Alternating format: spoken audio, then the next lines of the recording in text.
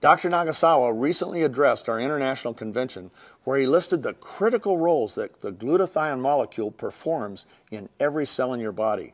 Glutathione is produced by every cell, but our glutathione levels decline as we age and are also lowered by factors such as stress, lack of sleep, illness, injury, chemical pollution, and even exercise. Max provides our cells with the nutrients they need to increase glutathione levels. Let's take a look. Categorically and without any equi- equivocation whatsoever, I can tell you that glutathione is the most important endogenous antioxidant there is. For one thing, it is manufactured by your own body. Secondly, as you heard before, glutathione is the only antioxidant can recycle itself. There are no other antioxidant can do that. Now, one of the major functions of glutathione is to maintain what is known as cellular redox homeostasis. Cellular redox homeostasis. I can hardly pronounce it myself.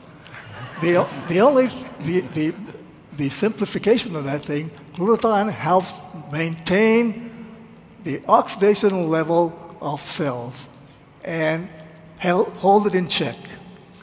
A good example of this is that the hemoglobin in your blood, red blood cells has to be in a reduced state before it can carry oxygen. In other words, if it's an oxidized hemoglobin, like in methemoglobin, oxygen cannot bind to methemoglobin. Therefore, methemoglobin is not any good for carrying oxygen to your cells. It is glutathione that reduces hemoglobin to the plus two state, which is the reduced state. Then it can accept the oxygen and carry it all to your blood.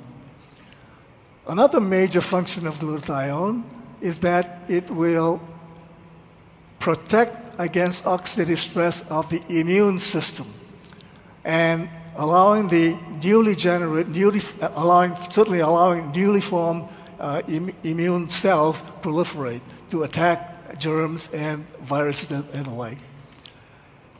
And the, as you've all heard, glutathione is a master of suppressing or sequestering free radicals.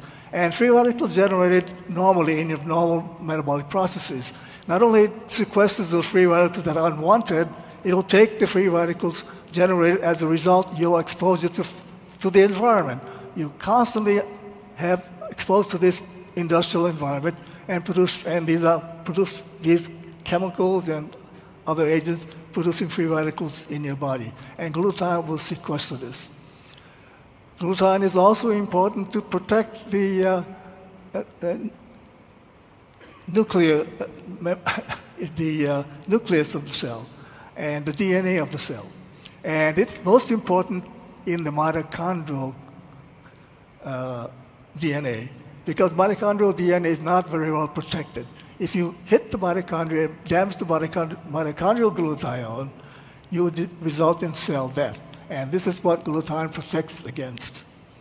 Glutathione is also important in the, in the protein biosynthesis process. For one thing, what happens is that glutathione, the amino acids that are, as you know, the building blocks of protein, glutathione takes it from the outside of the cell and transport that amino acid into the inside of the cell so that's now where the bi- biosynthesis can take place. And one of the most important things in this modern industrial world is that glutathione is the first line of protection against environmental chemicals and toxins. It'll sequester free radicals, but not only other things, other things that uh, David has shown on the slide, household chemicals that have, could, could be toxically ingested or you have it on your skin. So, David, I can tell you again, glutathione is the most important endogenous antioxidant.